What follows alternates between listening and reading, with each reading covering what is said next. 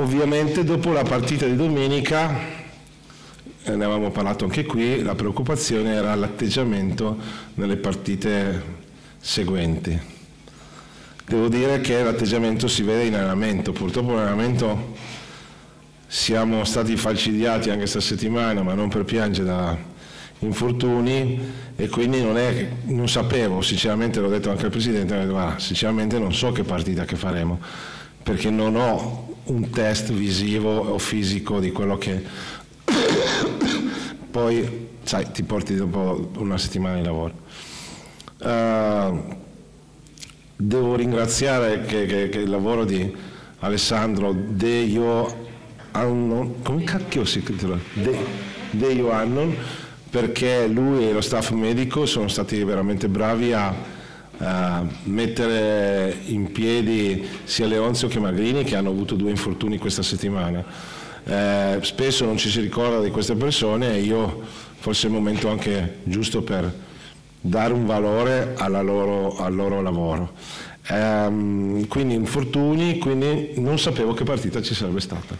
So, conoscevo abbastanza bene questa squadra, ci sono ragazzi interessantissimi, un bel progetto, penso ne avete parlato con Fabio Volpato, un bellissimo progetto che fanno con la Benetton, gruppo giovane, ragazzi interessanti del 98, è un progetto secondo me a lunga gittata, bello, bella cosa.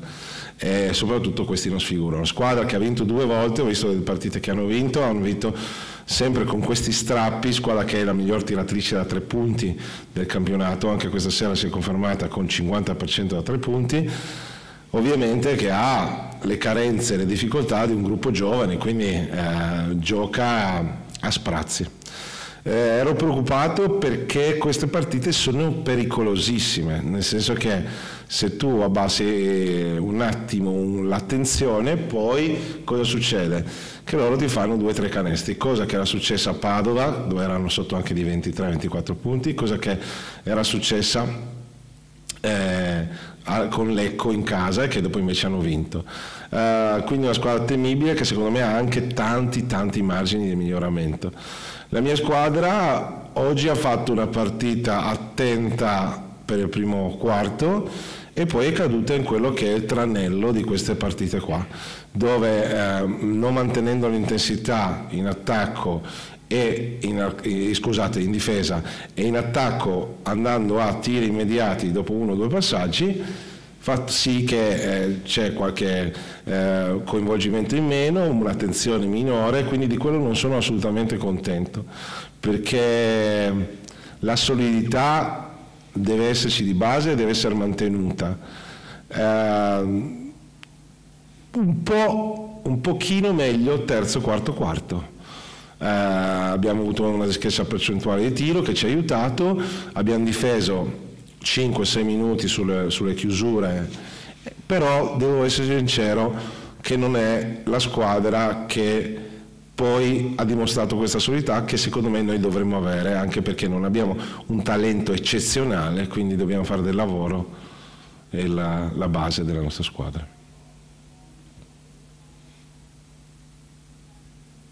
Qual è il confine tra uh, il fatto che siate calati e fatto che se la gente non si in settimana poi alla fine non può avere 25-30 minuti nelle gambe? Uh, il confine sinceramente non lo so.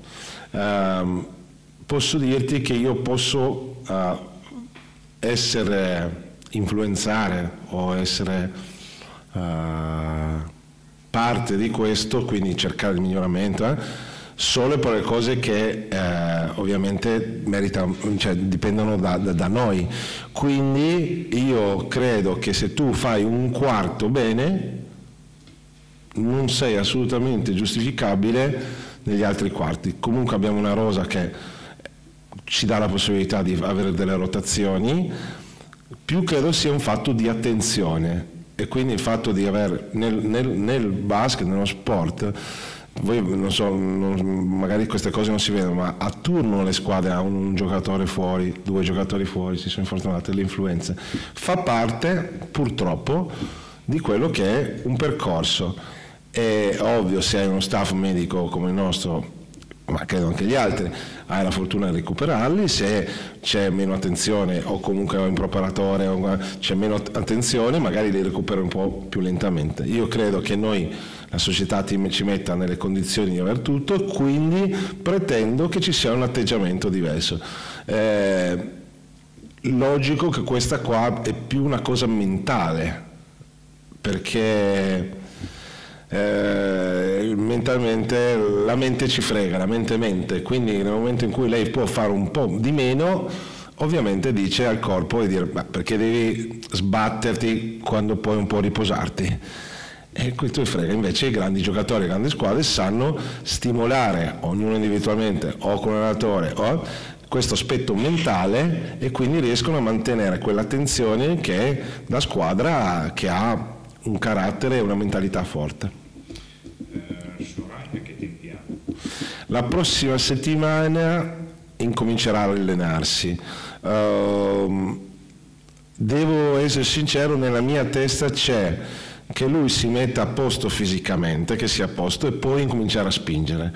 Non vorrei anticipare i tempi perché eh, è un giocatore talmente importante per noi che prima deve avere tutti i bulloni, tutte le vite a posto e poi possiamo un po' spingerlo. Quindi ehm, questo vuol dire che quando è pronto, quel giorno è pronto, da quel giorno comincia e si spinge.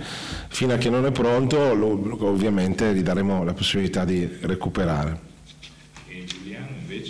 Si sta allenando?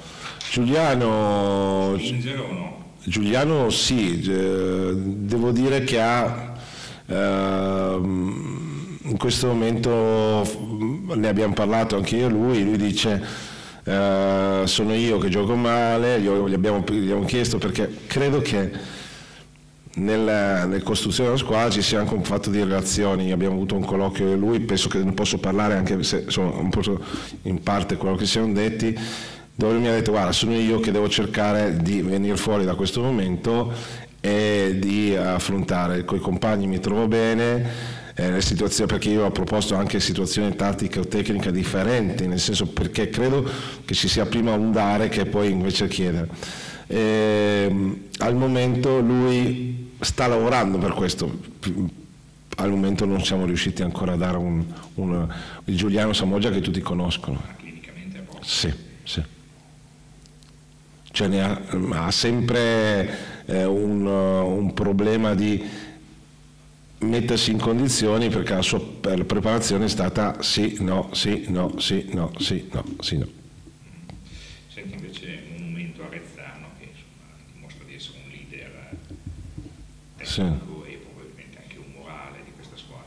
Sì, è un giocatore che, che, che è un collante perché mh, fa sia Uh, difesa che attacco, si prende responsabilità, partecipa e ha lo spirito uh, positivo, coinvolgente. Eh, devo dire che, che, che, lui, Diego, Tommy, eh, anche in questo momento anche Mattia Magrini, stanno dando una bella carica energetica positiva. Eh, loro fra di loro hanno un buon rapporto, secondo me eh, Massimo e Diego hanno l'esperienza anche per tirarli un po' su quella mentalità che parlavamo prima, farli crescere un po'.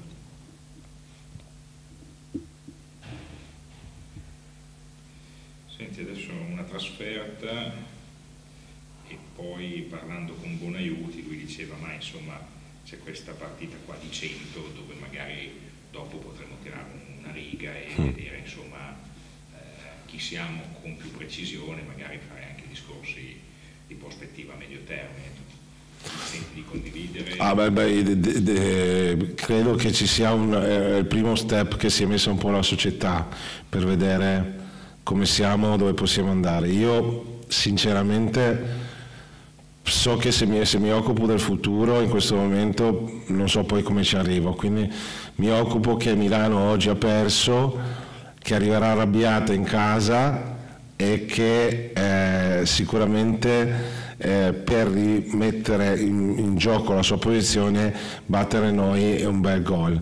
Quindi io lavorerò su questo. Mi piacerebbe sinceramente riuscire a allenarli di più, cioè avere un po' più di qualità in allenamento perché sennò questa squadra che non ha, ripeto, un talento eccezionale ha bisogno di lavorare.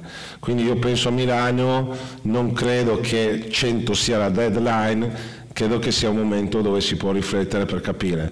Eh, non lo so sinceramente quali test se vinci, cosa, sì, perdi, no, buh.